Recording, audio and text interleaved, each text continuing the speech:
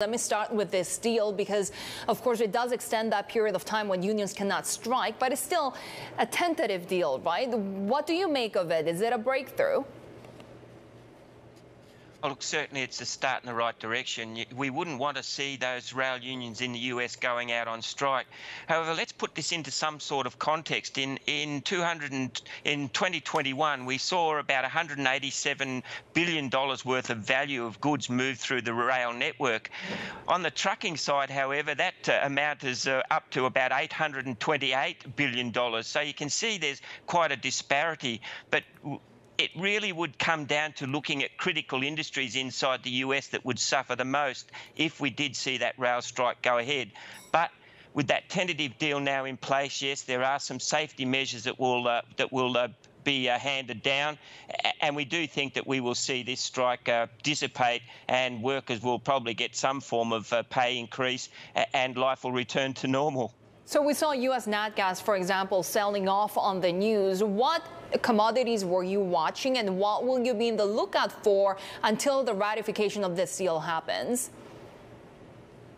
Look, certainly inside the US, you'd have to be very careful on the coal market. Uh, primarily, it's one of the significant uh, payloads that rail, railways do carry. So one would be careful there in terms of uh, how you would get coal from uh, from mine to to uh, source. So that's one we would be watching. Chemicals is the other. We do think that uh, there's significant uh, movements of uh, chemicals uh, through the rail network as well. So one would have to be watching very closely there for any price disparities. And, and finally, uh, although not a commodity, car parts, they're, they're the other big industry that would uh, be significantly impacted by a, a, a close down of the rail network. But generally speaking, it would really have to be an extended strike over probably probably many weeks uh, before we would start to see some impact on the broader global commodity prices. Lennox, uh, uh, David, you, talk about that sort of carry through effect that might take some time to transmit. Do you see any winners and losers outside of the US in this scenario? Uh, yeah, look, one of the biggest losers, in fact, would be Europe. If you have a look at what's happening with coal, and again, we'll go back to coal, Europe started to uh, import from the US, we think upwards of 2 million tonnes of coal this year. And China's the other big uh, importer of US coal. Something like 13 million plus, we reckon, will go into that country uh, in 2022. So one would suspect that, uh, that the coal would get to the ports by rail. So if that's tied up for any extended period of time. And of course, we all know what's happening in Europe with uh, the, the uh, gas uh, being uh, cut down. That would really cause some price spikes in, in um, Europe for, for uh, coal prices.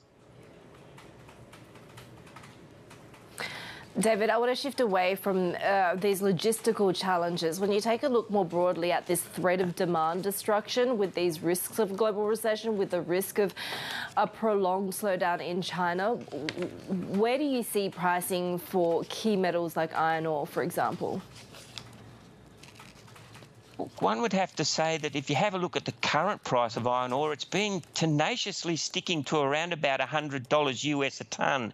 That would suggest to us that yes, there is pressure on the uh, the demand side coming out of China, but we are also seeing the Chinese authorities stimulating their economy in various sectors and in various ways. If we can see perhaps a transfer away from the the property sector, which is currently in quite a, a, a mire, towards uh, perhaps further infrastructure infrastructure building inside China, and they've got significant infrastructure still to be built, that would just at least stabilise the iron ore prices. And we think at the moment that the the markets are pricing that fully in because we are now well aware what's happening in the Chinese property market, and we are well aware that uh, we are seeing stimulatory action taken by the uh, Chinese authorities. And and as I've said, iron ore remains stubbornly stuck at around $100 US a tonne. So that would suggest that there is some tension there in the pricing.